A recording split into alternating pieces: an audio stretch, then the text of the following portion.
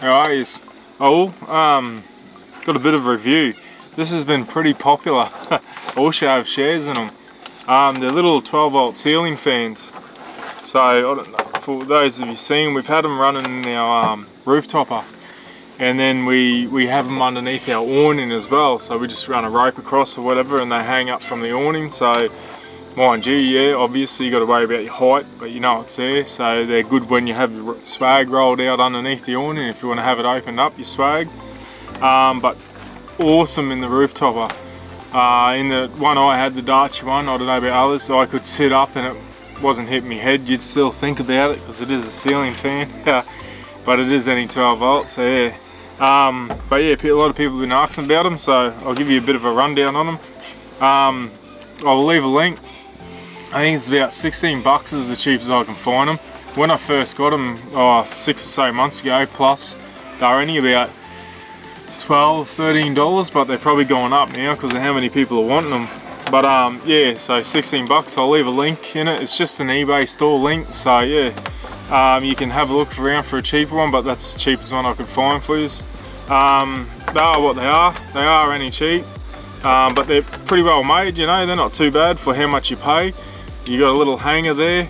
Um, yeah and that obviously spins around. Um, they just come with alligator clips, baby ones, so I'd suggest uh, cutting them off. And you know putting big ones on there or you could hardwire it or better yet if you wanted to put your own um, cigarette lighter plug on it. So yeah that's all they come with though. They do have a little switch. Uh, it's just an on off switch that's all it is. Uh, no speed um, just one speed and pretty much all these do is they just clip in so you just push these in they won't come out. They do take a bit to get in there, but I guarantee you they don't come out. Well, mine have never come out.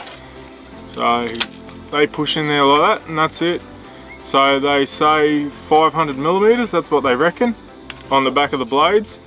To give you an idea, like, you know, that's that's pretty how big they are. That's close to my face, so it's decent size. Like when they hang up, they, they go, they pump out the wind. I'd hook it up, but you're not gonna really see how much wind it pumps out, but no, they do put out a lot of wind. And the best thing is, is 0.7 of an amp. So it's not even one amp it's drawing. So it's pretty, like, pretty good, very good actually. So we run two of them, like I said, a couple underneath the awning if we want to. Uh, did them in the roof topper. Obviously can't really do it in the swag now, a bit too low, but uh, you can have them in a, a decent tent, um, anything like that. And yeah, they weigh next to nothing. So they're not gonna put too much stress if you hang them off a tent, you know, if you got a little hook. The only thing I will suggest is when they start up, they really kick in, you know, and sometimes if this isn't attached properly, it'll twist. But yeah, you just want a nice solid point holding it, so when it starts, the whole thing doesn't want to go and turn on you. You'll know what I mean if you've had them or when you get them. But yeah, that's her, 12 volt ceiling fan. Oh, too easy, any questions? Yeah, let us know and alright, I'll get back to you. Alright, catches.